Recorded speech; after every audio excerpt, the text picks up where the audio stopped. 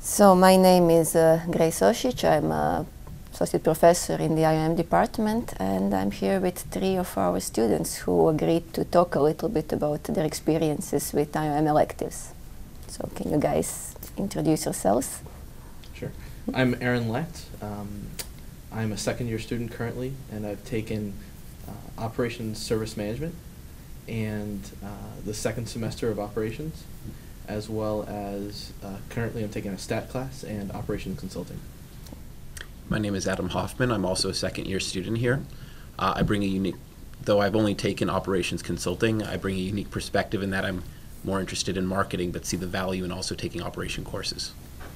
Hi, I'm Senthil. I'm a second year student as well. I've taken uh, operation consulting the last semester and uh, spreadsheet based business modeling. This semester, I'm taking supply chain management and uh,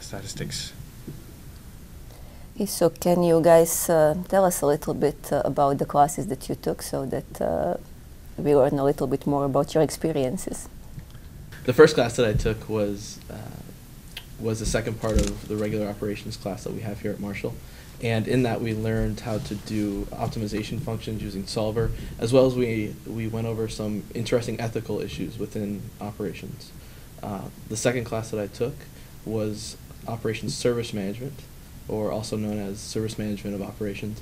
And in that class, it was actually very good in the sense that we got to go through a lot of the different pieces that in, are included in business and put them together from an operations perspective. So, for instance, we talked a lot about marketing. We talked a lot about um, a lot about um, finance, and we brought all those pieces together while looking at it from an operations viewpoint. Uh, and then currently, I'm taking a statistics class, which is an advanced statistics class taught by Professor James. Um, that is very technical, actually, and uh, we go through a lot of advanced statistical methods. And then finally, I'm currently taking operations consulting, which I think the real crux of that uh, of that is is the operations project that we'll be doing, where we actually go out into the real world and solve problems from an operations consulting perspective. So, what company are you uh, working on? I'll be working on USC Healthcare. Thanks. Uh, my name is Adam Hoffman once again. I took the operations consulting course, which was a great opportunity to learn about different operation principles, uh, Six Sigma, lean manufacturing. Uh, but the best part of it, as Aaron was describing, was the project where we actually got to work with a company.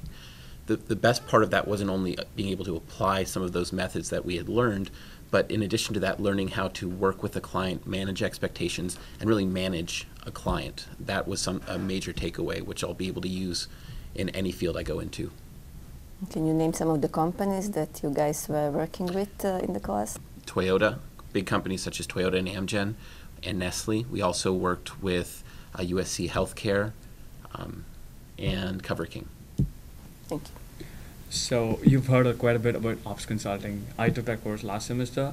For my, for me, I would say the breadth of cases that you go across in that in that course was really uh, very beneficial for people who are looking at consulting or operations as such. That gives a good idea of how what operations is, and uh, what kind of projects or what kind of job role you can look into operations.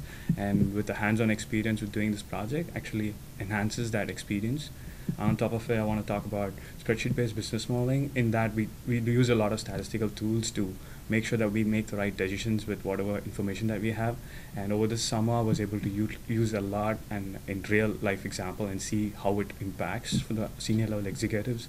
So I would say they are looking at more uh, from a statistic-based decision making rather than like you know the old traditional way of decision making so there's actually courses and electives whatever we've learned over this sem- semester actually helped helped us in uh, summer so Can, can I add one thing Sure. to the operations consulting class? Um, I was a operations consultant for five years before uh, taking the class, and in the class you actually learn a lot of important tools such as advanced spreadsheet analysis and um, how to interact in a consulting environment with the client and with your peers. So I think it's really good that somebody takes that type of a class just so that they can see what it's like to be a guest in somebody's office, if you will, just as a consultant.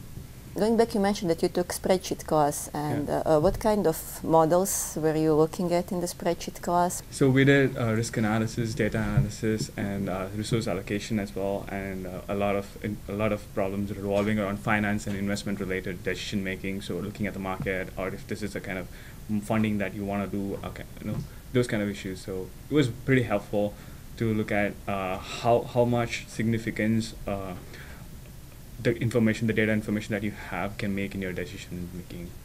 So you would uh, think that this kind of class can be useful for people outside OM as well? It definitely is because any any industry, I mean, um, any industry for that matter, you have their own analysis. So right now, analytics is not separate from senior level people. Like they need to know what how, how to make decisions, how to make an analysis based on whatever information they have. So if you're looking at marketing, they need to do market analytics and find out, okay, does this really make sense to launch a product? If you're, if, if you're at finance and probably want to know, is this investment really justifies my decision for my for the next quarter or the next year? So I think it, it just apply, applicable across the board. It's just not with operations. So, uh, did you find? Uh, I mean, you heard a little bit about. You mentioned that you found that uh, the class can be useful for everybody uh, looking at uh, consulting positions. So did you find that the classes you took helped uh, in uh, finding internship, uh, finding uh, jobs? I interned at Ernst Young in the supply chain practice group this summer. So it was, I, had a pretty good kind of background in operations, but in the interviews they were looking at more from a business perspective. What did you understand over, uh, what do you really understand in operations? So from the course like ops consulting, from the breadth of, discussion, I was able to handle different cases. Even it surprised me in my interviews, like I've never gone through these cases, but the kind of uh, uh, discussions that we had in the class really helped me. And when we bring it to that a point, the recruiter's point that we were involved in projects during our courses tells us tells them actually how much interest and involvement we've got in operations. So from that perspective, I was able to really show demonstrate that I've already done this and I know the skill set what you're looking for. So that really helped me to get through inter- inter- interviews and internships for my internship and at work at summer uh, very specifically i was able to apply concept which i learned in course because this is uh, really a huge benefit that everyone will want to look at because you learn something and academics has always been different from real real world people look at it that way that way but in reality it wasn't like that. I was able to apply concepts and things which i learned in classes like spreadsheets stats and the stats what we learned in first semester. Everything was just synced in and i was able to advance in uh, the same concept like you know read a lot of white papers and advance with whatever basics that was provided in the class. And uh, it ended well and finally my work was selected for one of the uh, EY's Insight papers so pretty happy with that. Congratulations. Uh, this summer, I worked with a Johnson & Johnson subsidiary known as LifeScan. It was a great opportunity. I was in a marketing function over the summer, but there were many opportunities for me to leverage the skills I had developed in the operations courses. Uh, doing project management, figuring out how to do a, a project management flow, figuring out making sure there wasn't duplication of labor going on, uh, leveraging decision trees and other tools that I had learned in the courses. So most of these concepts are very applicable across the range of functions. Uh, I was interning at PricewaterhouseCoopers this summer, and there isn't really a class aside from operations consulting that really says, you know, how do you answer the question when a client comes to you and says, "Have you done this before?" You know, how do you answer that without having actually been asked that in a in a educational setting before? Um, so operations consulting has really prepared me for that. Um, aside from that, service management of service operations has prepared me uh, to do things from a more managerial managerial level. Um, for instance, when you have a group of employees and you're trying to optimize how to spend their hours throughout a week, how do you do that? Well, you can use Excel and you can do all these fancy tools um, that we go over uh, in that to really help maximize uh, your employees' time. Additionally, profit maximization was very useful from the second part of the electives uh, of the operations elective uh, simply because optimization I've used you know how do you maximize revenue uh, with a whole bunch of different constraints going on and really um, figuring out how to do so. So I think that the operations classes have been really the most applicable for me um, just from a general approach um, because it incorporates you know it's kind of the, the back end of everything operations is how you actually deliver on your promises And so it, you need to take into account all of those other things. You need to take into account marketing, finance, are you going to have the money to do what you're trying to do, and pull all of that together just so that you can deliver what you promised. Did you guys have uh, a lot of background in spreadsheets before taking operations class? What level was your knowledge uh, of spreadsheets? Sure. Um, I had been a consultant before, and so I had done a lot of spreadsheet work, but not really a lot of the advanced techniques like Solver that we're using, um, and a lot of the commands uh, that that you learn in these classes. But I actually didn't have a lot of.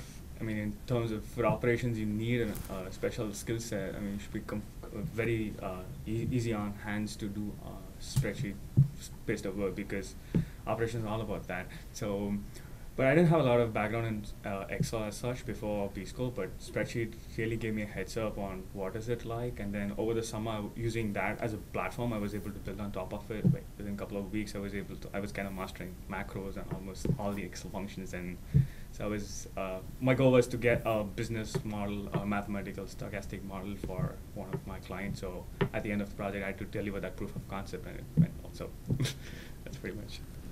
When I started, I knew a spreadsheet had boxes on the screen and that you could do addition and subtraction with it.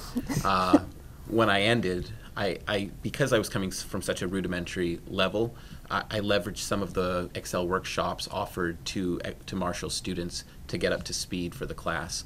But by taking courses, I was able to learn uh, VLOOKUPs, uh, just general functionality of what data what they can do, as well as things like Crystal Ball and Solver that really a, a regression analysis great, great tools that will allow you to accomplish so much and really add value and eliminate risk within a business setting. And uh, I just want to add one more.